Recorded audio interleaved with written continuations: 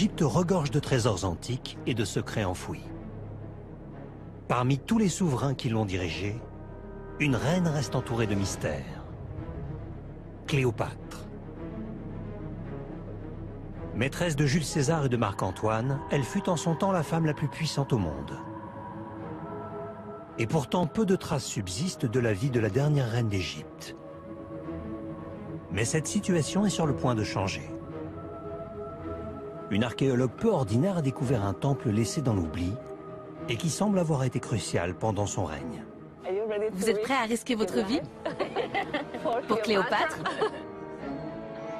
Elle met au jour des objets étonnants, Où sont les serpents de mystérieux tunnels souterrains et même une immense cité des morts. C'est une magnifique nécropole. Ils sont vraiment superbes. Ces découvertes transforment notre vision de cette reine énigmatique. C'était une mère, une épouse, une reine et aussi une déesse. Elle trouve aussi de surprenantes salles souterraines. Ce qui est sûr, c'est qu'il voulait cacher quelque chose. Et sa quête de Cléopâtre pourrait même la mener tout droit au tombeau de la dernière reine d'Égypte.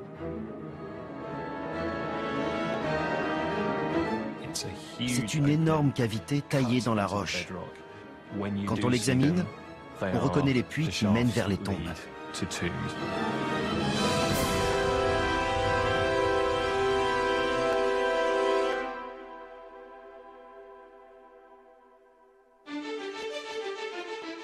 You are a goddess, Cleopatra.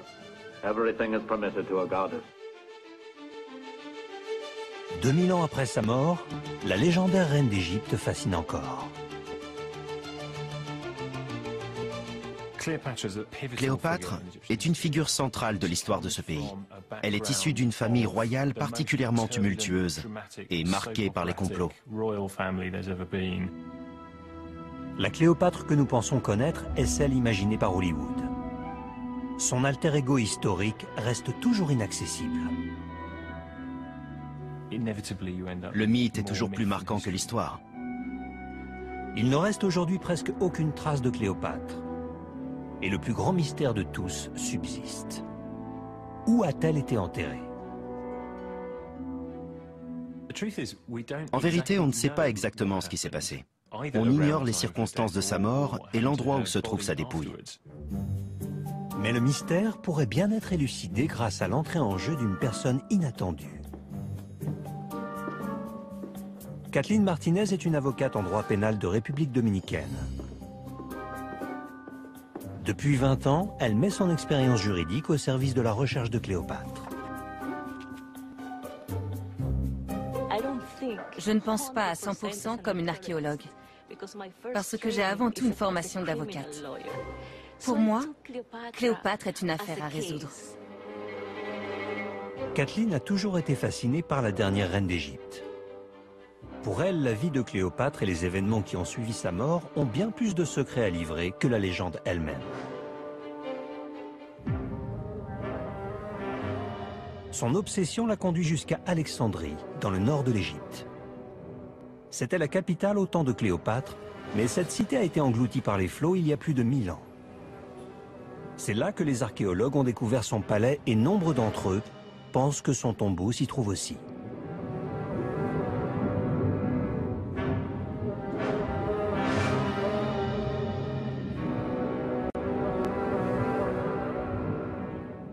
Kathleen a une théorie radicalement différente sur le lieu de sépulture de la reine.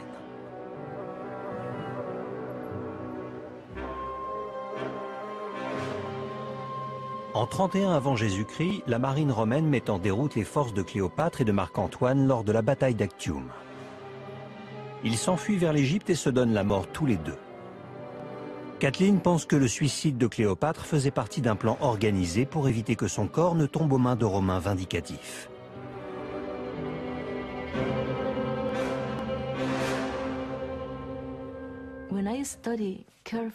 En étudiant attentivement les derniers jours de Cléopâtre, je me suis rendu compte qu'il s'agissait peut-être d'un suicide rituel. Cela justifierait un enterrement dans un temple. Son tombeau pourrait donc se trouver là.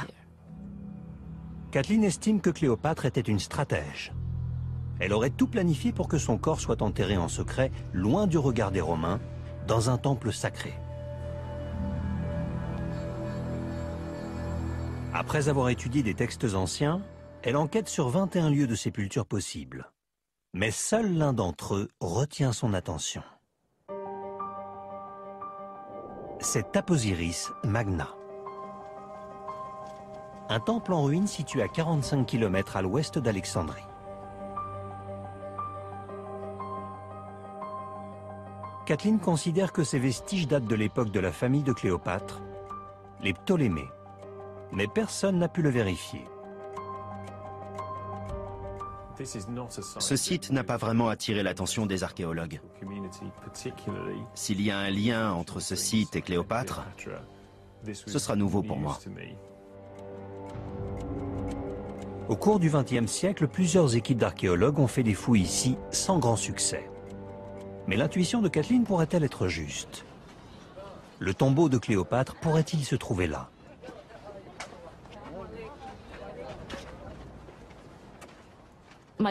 Quand je suis entrée dans le temple, je me suis mise à rire. Je savais que j'étais au bon endroit. Étrangement, les murs d'enceinte ne portent aucune inscription. Rien ne les relie à une époque ou à une dynastie de l'histoire égyptienne.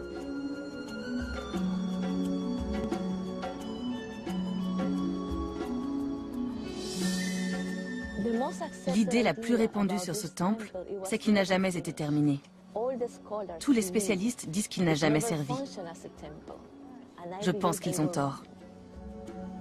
Les experts considèrent Taposiris Magna comme un site inachevé et sans importance. Kathleen est déterminée à montrer que c'était bien plus qu'un site antique en construction.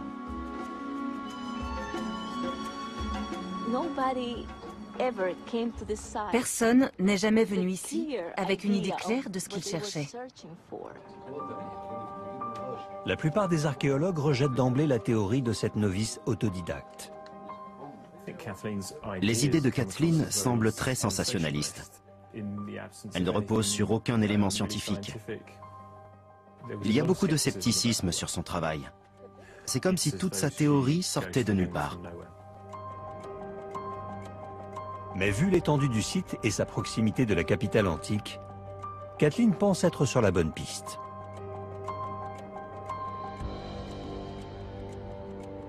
Si elle trouvait le tombeau de Cléopâtre, celui-ci pourrait révéler de nombreux secrets sur la vie et la mort de la reine. Ce que les gens connaissent de Cléopâtre, c'est ce qu'il y a dans les films. Elle était musicienne, elle a étudié la médecine, elle a rédigé des textes de loi. Elle était extrêmement érudite, à une époque où les femmes avaient bien peu de droits. Alors que les poètes romains considèrent Cléopâtre comme une séductrice manipulatrice, les auteurs arabes médiévaux la décrivent sous un jour bien différent et la qualifient de philosophe, de scientifique et de dirigeante politique pleine de ressources. Cette vision est de plus en plus répandue chez les spécialistes et Kathleen n'est pas la seule à enquêter sur Cléopâtre. L'historienne Dorothy Thompson a récemment découvert quelques textes antiques qui lèvent le voile sur la souveraine.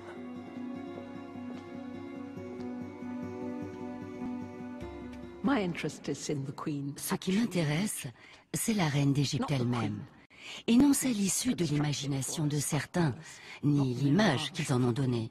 Je veux découvrir la reine qu'on devine à travers les textes. Au musée de Berlin, des fragments de papyrus vieux de 2000 ans donnent un aperçu du contrôle politique qu'exerçait Cléopâtre pendant son règne.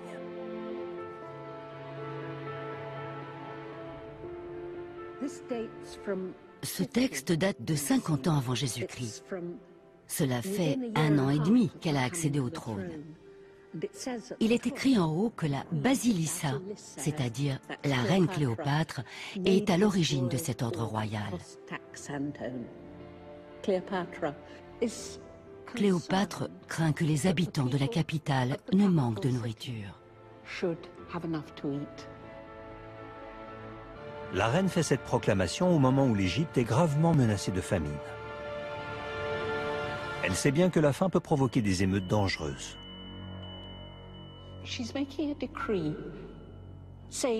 Ce décret royal interdit à quiconque de revendre du grain dans le nord ou le sud. Il doit être exclusivement réservé à la capitale.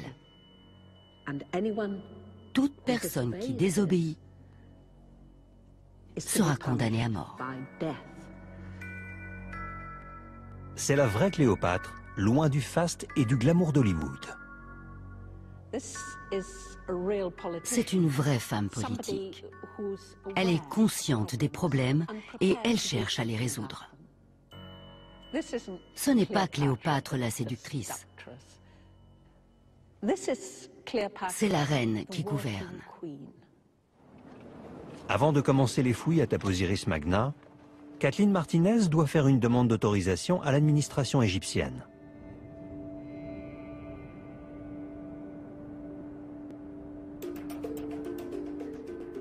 En 2005, elle présente sa théorie sur le tombeau de Cléopâtre au ministre des Antiquités en personne. Elle a réussi à me convaincre de lui donner une chance parce que c'est une femme très déterminée. Elle est certaine que le tombeau se trouve là. Kathleen a deux mois pour prouver que sa théorie est fondée. Elle organise une prospection du site et démarre les fouilles.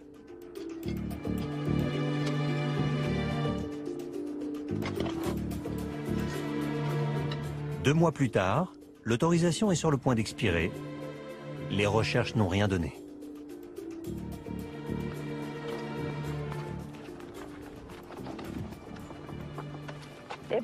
Tout le monde est déçu sur le site. On n'a même pas trouvé de poterie. Rien du tout. Le dernier jour des fouilles, dans une tentative désespérée, Kathleen redéploie son équipe sur l'ensemble du site. Non loin de la porte nord, elle remarque une mystérieuse dépression dans le sol.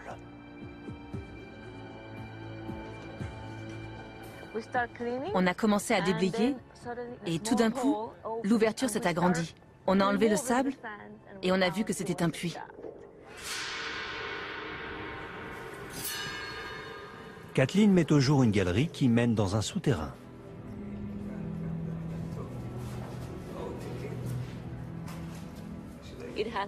Dans l'Antiquité, on descendait par ces cavités. On n'utilisait pas d'échelle.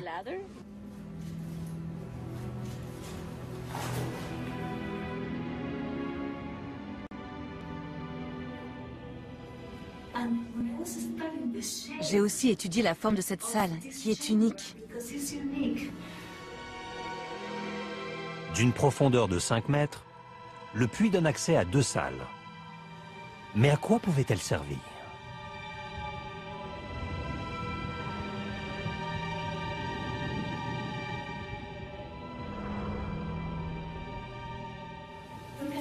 Il y a des traces de pigments. Le mur était peint. C'est une découverte surprenante. Ce passage souterrain n'avait pas été repéré lors des fouilles supervisées par des professionnels. Ces salles ont peut-être servi à des rituels effectués par des prêtres. Mais quoi qu'il en soit, la trouvaille incite l'administration à prolonger l'autorisation de Kathleen.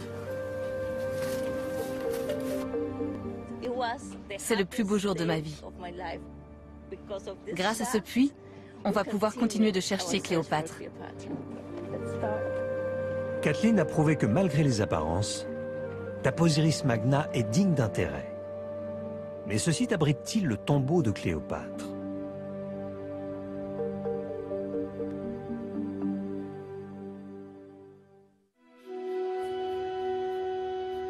Les derniers jours de la dernière reine d'Égypte ainsi que sa mort prématurée restent mystérieux.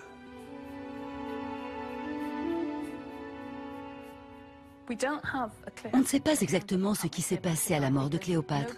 Personne n'en a rendu compte par écrit. Après sa défaite lors d'une bataille navale décisive contre Rome, le général Marc-Antoine se donne la mort. Cléopâtre est prête à faire de même. Selon le récit traditionnel, elle se suicide en serrant un aspic contre sa poitrine. La morsure du serpent lui est fatale. Mais la suite de l'histoire reste un mystère. On ignore le sort qui a été réservé à la dépouille de Cléopâtre. Les événements autour de sa mort ne sont pas clairement définis. On n'a aucune indication sur l'endroit où elle est enterrée.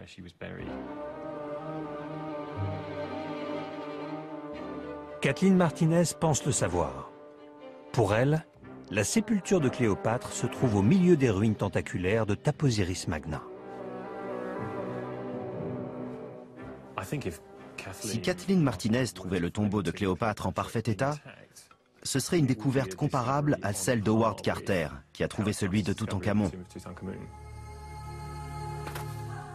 Lors de sa deuxième campagne sur le site, Kathleen s'intéresse aux vestiges d'un bâtiment découvert lors de fouilles précédentes. Il s'agit d'un temple que l'on croit dédié à Osiris, le dieu des morts. Personne ne sait qui l'a construit. Il ne reste pas grand-chose de la structure en elle-même. Mais en creusant, Kathleen fait une découverte majeure. Elle trouve une série de tablettes extrêmement rares et fragiles.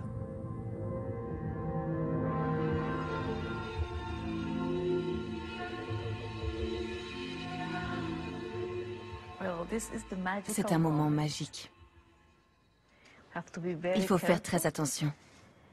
Elles sont en argile, en verre et en pierres semi-précieuses, comme le lapis lazuli et la turquoise. Ces objets rares sont des dépôts de fondation. C'est extrêmement important de trouver les dépôts de fondation. Ce sont eux qui permettent de connaître la date de construction du temple. Les inscriptions se voient à peine, mais elles sont lisibles. Les inscriptions ne sont pas très nettes. Elles sont rédigées en grec et font référence à Basileus Ptolémaios, c'est-à-dire le roi Ptolémée. Les tablettes marquent l'inauguration du temple. Kathleen estime qu'elles ont été mises en place il y a environ 2200 ans par Ptolémée IV, l'ancêtre de Cléopâtre. Grâce à cette découverte, Kathleen surprend la communauté scientifique. Elle a réussi à établir un lien direct entre le temple et les ancêtres de Cléopâtre. Elle en est désormais convaincue. Cléopâtre venait elle-même se recueillir ici. On vient de démontrer avec des preuves archéologiques que tout ce qui avait été écrit sur ce temple était faux. Mais la datation du temple d'Osiris n'est qu'un début. Quelques semaines plus tard, en poursuivant ses fouilles vers le nord, Kathleen fait une autre découverte capitale.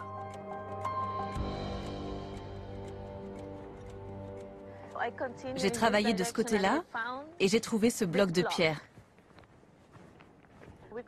On a continué à déblayer et on a trouvé les vestiges d'un mur. On a alors poursuivi vers le nord et on a vu la taille de la construction et l'emplacement d'une porte. C'est un deuxième temple qui semble être voué à la déesse Isis.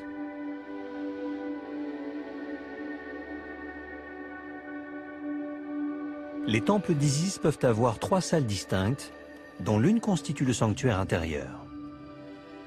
C'est à nouveau une découverte époustouflante qui témoigne d'un lien avec Cléopâtre.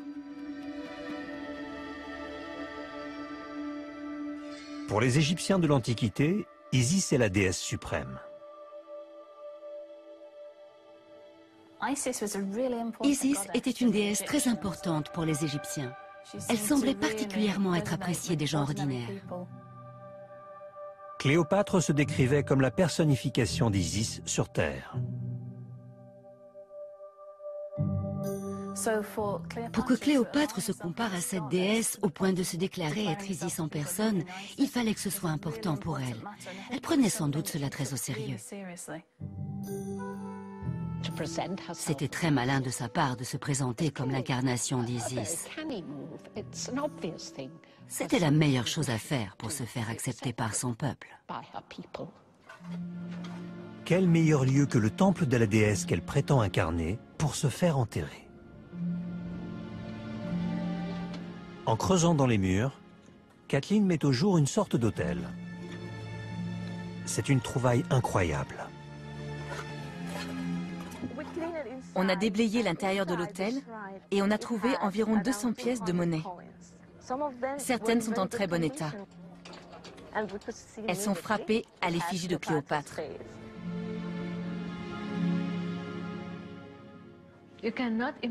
Vous n'imaginez pas mon bonheur de découvrir le visage de la reine sur une pièce de monnaie au sein du temple d'Isis.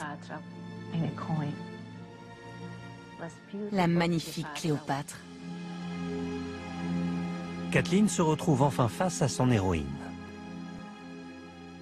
Ces pièces prouvent que le temple était toujours en activité pendant le règne de la souveraine.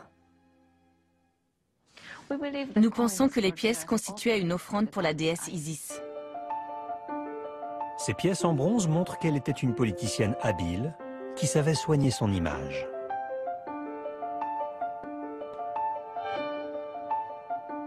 Les ancêtres de Cléopâtre n'avaient fait frapper leur visage que sur des pièces en argent, utilisées par les classes aisées. Mais Cléopâtre voulait que son visage soit vu et adoré de tous ses sujets. Ce qu'elle a fait était nouveau. Son portrait ornait aussi des pièces en bronze de faible valeur. C'est une mesure importante qui lui permettait de se faire connaître auprès d'un public bien plus large. Toute personne qui effectuait quotidiennement des transactions avec ces pièces-là se retrouvait face à l'image de Cléopâtre.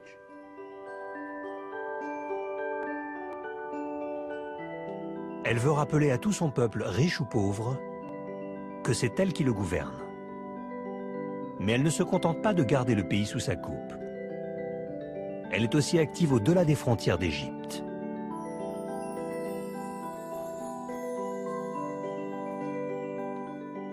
Au musée de Berlin, l'historienne Dorothy Thompson analyse le deuxième texte antique qui révèle que Cléopâtre cherchait des alliés à Rome.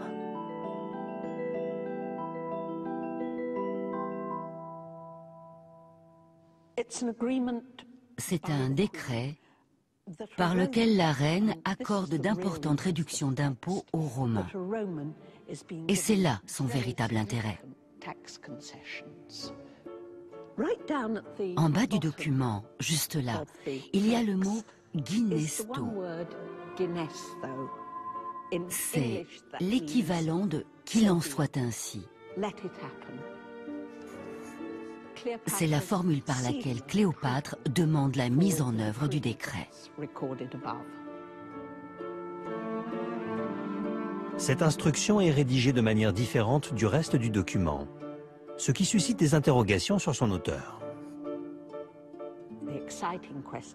La question qui nous taraude, c'est est-ce Cléopâtre qui a écrit cela de sa propre main? Ce serait vraiment formidable si c'était le cas. Mais on ne peut pas en être sûr.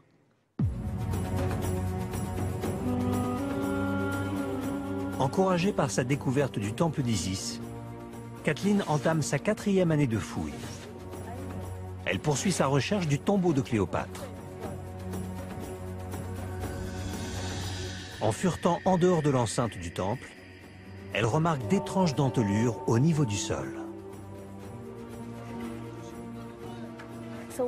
On a commencé à déblayer et quand on a aperçu les premières marches, on a compris que c'était un puits. Le puits découvert par Kathleen fait 25 mètres de profondeur.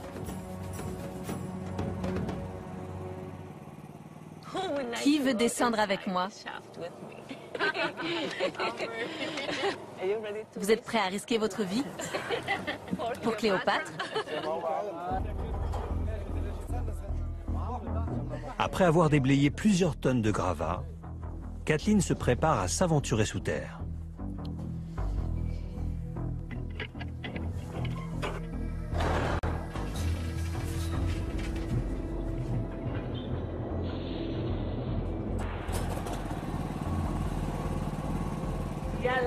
Allez, allez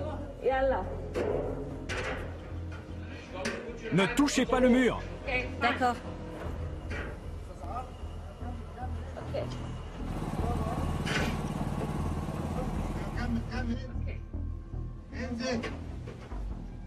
Arrivée en bas, elle découvre deux passages secrets.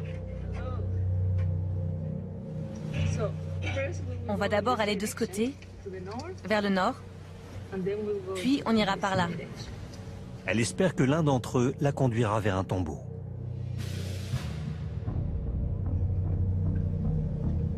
Les tunnels ont été adroitement taillés dans la roche. Une tâche colossale. Il faut que le guide reste près de moi pour me dire où sont les serpents.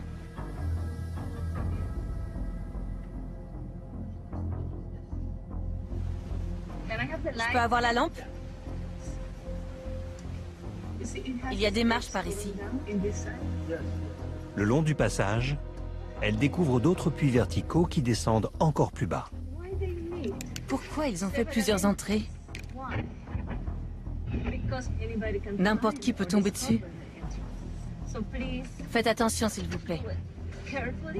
Il n'y a pas de tombeau en vue, mais au milieu des débris, Kathleen fait des découvertes.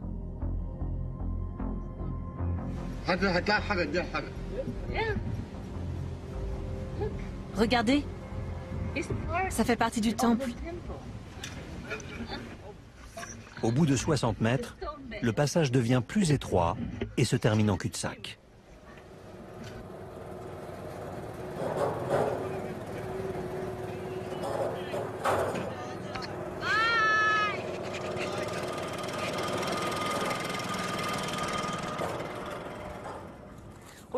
On a trouvé du marbre qui appartient sans doute à la chapelle d'Isis.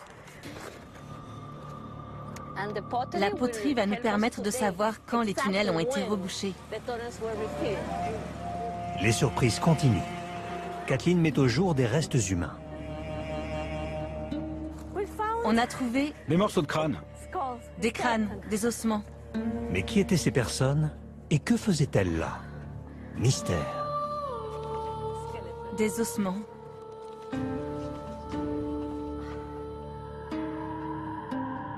Les fouilles ont permis jusque-là de découvrir un dédale de passage et de puits qui s'étend sur 300 mètres sous Taposiris Magna. Kathleen pense que son idée de départ est juste. Le tombeau de Cléopâtre doit être caché quelque part sous ce temple.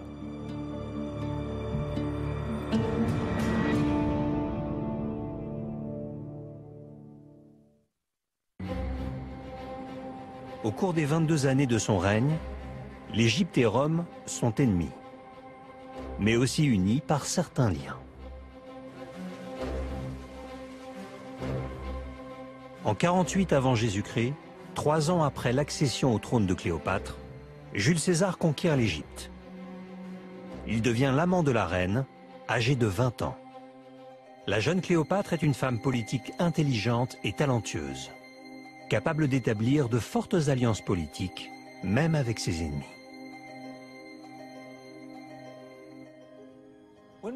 Quand on observe la relation entre Jules César et Cléopâtre, on voit qu'il y a une part de séduction et une part de manœuvre politique. En fait, il y a les deux. Rome est la plus grande puissance de la région méditerranéenne. L'Égypte a besoin de son soutien pour maintenir sa position. En même temps, Jules César est dépendant de l'Égypte qui est son grenier à blé. L'histoire d'amour dure quatre ans.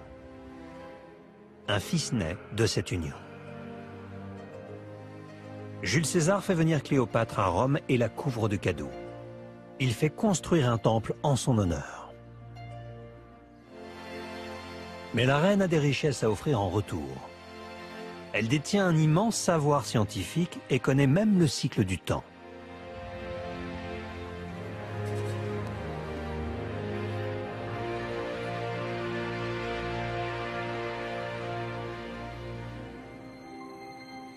À l'époque de Jules César, le calendrier romain est basé sur les phases de la Lune. Mais le cycle lunaire est de 28 jours. Les mois et les saisons se décalent donc chaque année. Il n'y avait pas un nombre fixe de jours dans l'année. Parfois, tout le système était complètement déréglé. Mais Cléopâtre vient d'un haut lieu du savoir. Le calendrier égyptien se base sur la révolution de la Terre autour du Soleil. Jules César adopte ce système. En important les pratiques utilisées par les astronomes égyptiens sous le règne de Cléopâtre, Jules César obtient enfin un système basé sur la révolution terrestre. Cela donne une stabilité à Rome. Chaque année dure 365 jours et tous les 4 ans, il y a une année bissextile. C'est le calendrier moderne. Jules César l'introduit à Rome, dans l'Empire et ainsi dans le monde entier. En 44 avant Jésus-Christ, le règne de Jules César prend brusquement fin alors qu'il est assassiné. Cléopâtre fuit en Égypte.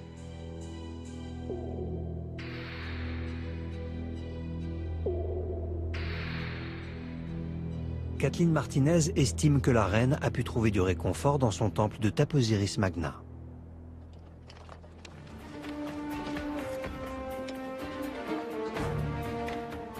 En 2014, après presque dix campagnes de fouilles, Kathleen dispose d'une collection étonnante d'objets. Ils viennent tous de la dynastie royale dont est issue Cléopâtre. C'est l'un de mes objets préférés, la tête d'une reine ptolémaïque. C'est un stylet pour se maquiller les yeux. Ça, c'est un poids qui servait aux marchands. Voici une tête d'Alexandre le Grand.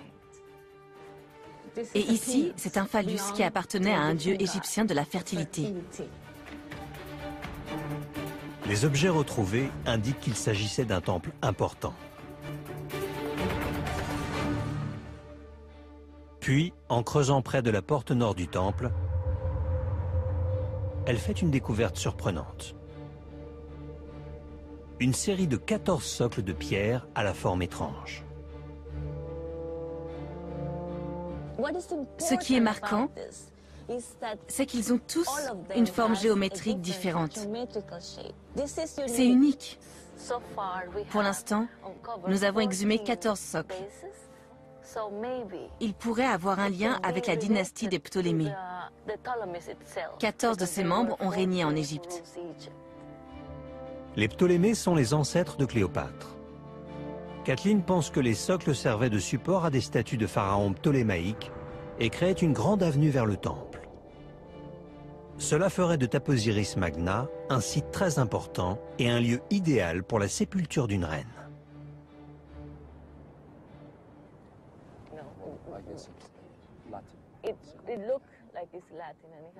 La théorie de Kathleen sur le tombeau de Cléopâtre va encore gagner en crédibilité.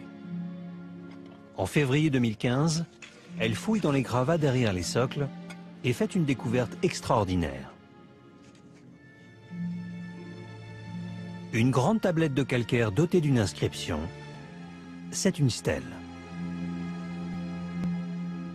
Comme sur la célèbre pierre de Rosette, l'inscription est rédigée à la fois en hiéroglyphe et en démotique, la langue utilisée au quotidien dans l'Égypte antique.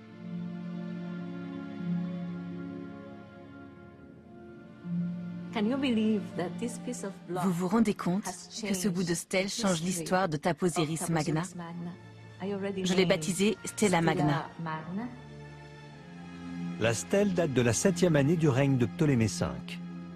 Elle a été gravée deux ans avant la pierre de Rosette. L'inscription prouve que le site est lié à la déesse Isis, celle que Cléopâtre prétend incarner sur Terre. Le décret de Ptolémée V indique que Taposiris Magna est un centre religieux dédié à Isis et au culte qui lui est voué. La terre est aussi considérée comme une terre sacrée. Tout ce qui se trouve autour du temple sert aussi à l'adoration d'Isis. C'est un texte fondamental. Il montre que c'est un temple qui fait partie de l'institution royale de l'époque. C'est un lieu majeur. Ce n'est pas un temple à l'abandon. Bien au contraire. La stèle mise au jour par Kathleen révolutionne l'histoire. Elle fait apparaître que Taposiris Magna est le temple ptolémaïque le plus important du nord de l'Égypte.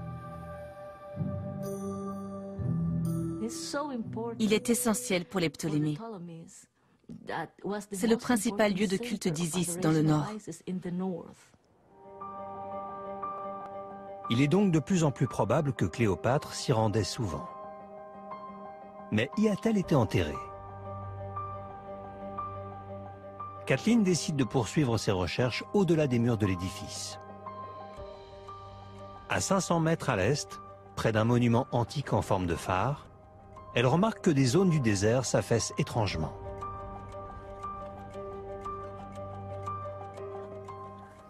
On a commencé à creuser là parce qu'on se trouve entre le phare et le temple. Et puis, on a aperçu les premières marches.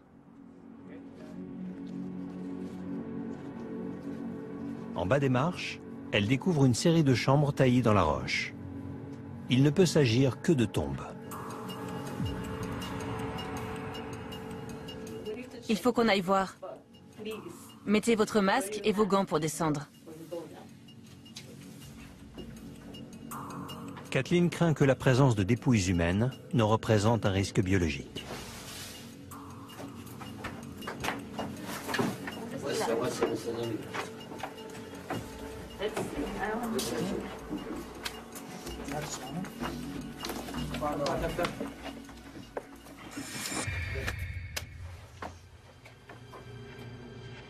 Les tombes prouvent que des rites funéraires avaient lieu ici, à proximité du temple. Les fouilles mettent au jour un labyrinthe de catacombes antiques. Certaines contiennent des squelettes et d'autres des momies. On ignorait l'importance du lieu. Mais à ce jour, on a retrouvé plus de 800 squelettes. Kathleen a découvert une immense nécropole qui s'étend sur des centaines de mètres carrés. C'est une cité des morts antiques. Mais qui a été enterré là?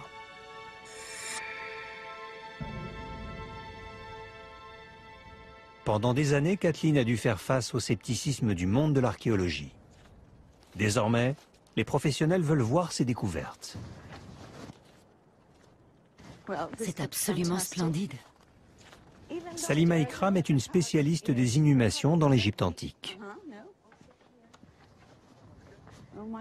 Oh mon Dieu, ils sont vraiment superbes. Les crânes de certaines momies découvertes par Kathleen sont dorés. Il y avait toute une technique de dorure. On leur enduisait le visage d'une sorte de mélange à base de résine d'huile ou même parfois de cire d'abeille. Ça donnait une substance très collante. Ensuite, on fixait dessus des petits carrés de feuilles d'or. Parfois, ils se chevauchaient. Les personnes enterrées là étaient riches. Mais les dorures sur les crânes ne sont pas juste un ornement. À la fin de la période ptolémaïque et au début de l'époque romaine, les momifications sont de moins bonne qualité. Le corps est recouvert de nombreuses huiles et onguents. Il est enveloppé bizarrement. On lui ajoute un peu de dorure. Tout cela donne l'impression qu'il ne savait pas exactement comment procéder.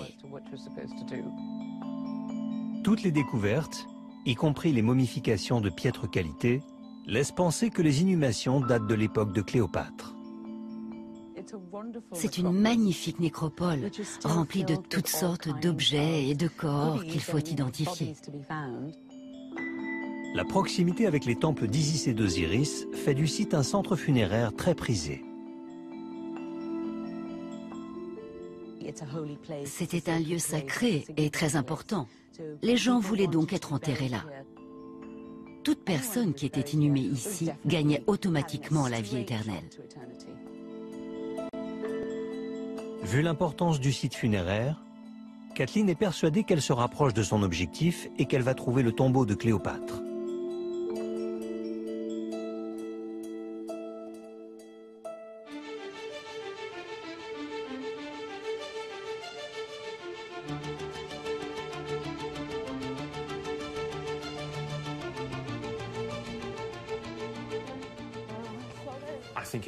Si Kathleen trouve le tombeau de Cléopâtre en parfait état, elle deviendra certainement l'archéologue la plus célèbre au monde.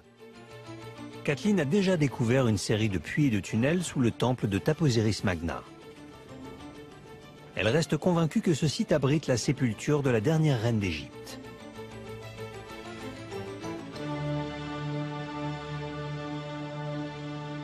Mais a-t-on des preuves que les Égyptiens de l'Antiquité enterraient leurs souverains sous des temples?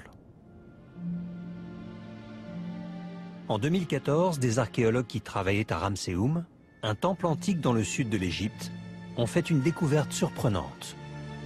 Un puits qui débouche dans un souterrain et qui contient les objets de rites funéraires d'un tombeau royal.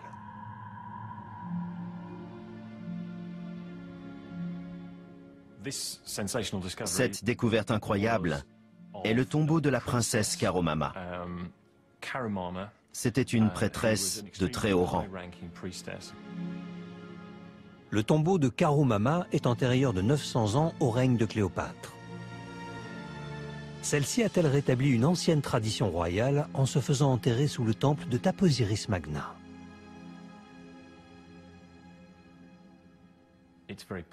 Il est tout à fait possible que Cléopâtre ait été enterrée dans un tombeau du même type sous un temple. On a un certain nombre d'exemples de personnages de haut rang, de sang royal, et en particulier des femmes, qui ont été enterrées dans ce genre de tombeau sous un temple. Je descends. Près de la porte ouest, Kathleen découvre une chambre non loin de la surface. Elle y trouve la dépouille d'une femme.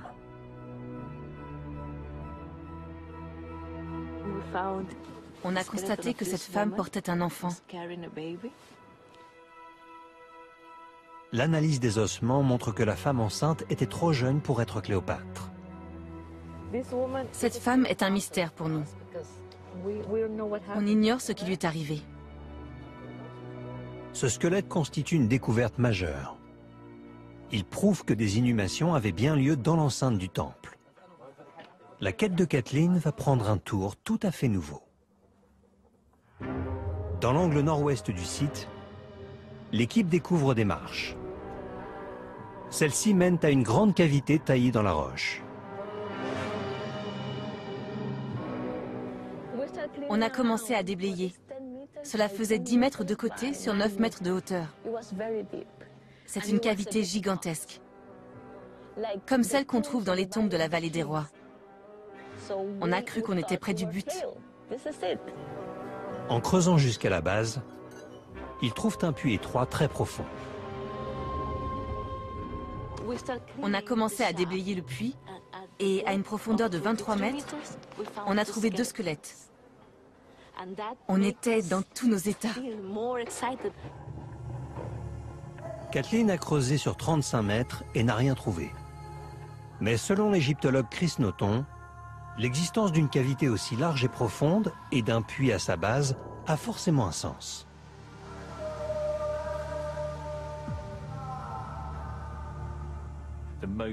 Ce qui est le plus frappant, c'est sa taille gigantesque.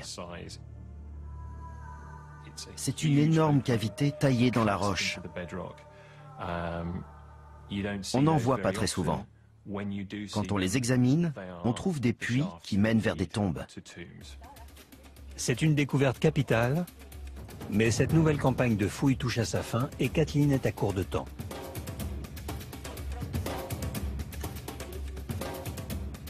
Elle fait venir un radar à pénétration de sol pour sonder la zone autour du puits. Elle souhaite voir si des dalles se cachent derrière les murs. On essaie d'utiliser des méthodes géophysiques pour aider les archéologues dans leur travail et pour qu'ils trouvent la momie de Cléopâtre. Les résultats sont encourageants. Ils indiquent la présence de deux cavités.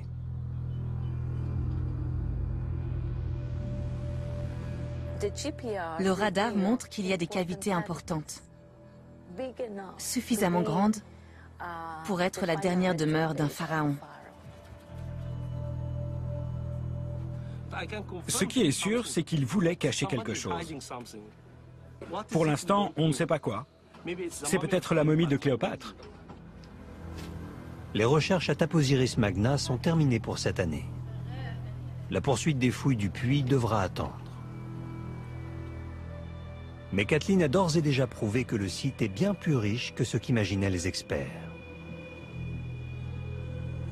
Elle a montré que Taposiris Magna était un temple d'une importance majeure à l'époque de Cléopâtre.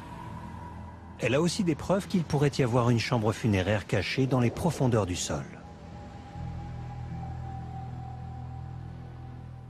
Grâce à Kathleen, on n'a jamais été aussi près de découvrir le tombeau de Cléopâtre. En Égypte, une archéologue a déclaré aujourd'hui être sur le point de trouver la sépulture de Cléopâtre. Désormais, le monde entier s'intéresse à sa quête. Des objets trouvés dans un temple antique près d'Alexandrie.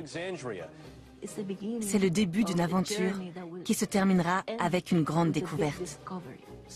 Différentes représentations de Cléopâtre ont été mises au jour.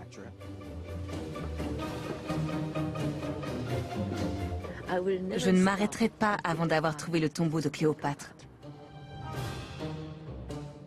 Je sens au fond de mon cœur qu'il se trouve sous mes pieds, à Taposiris Magna.